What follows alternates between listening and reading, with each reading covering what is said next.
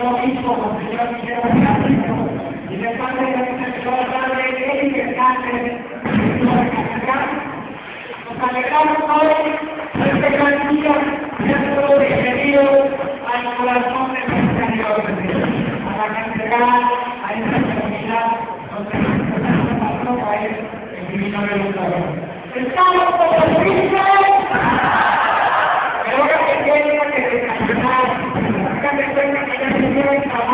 going to get it out.